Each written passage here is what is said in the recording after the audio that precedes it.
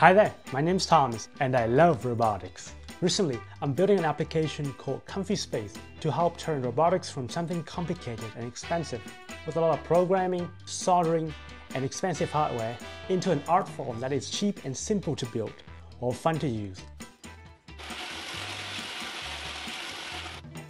If you're curious and would like to make a robot like this one over here, check out our website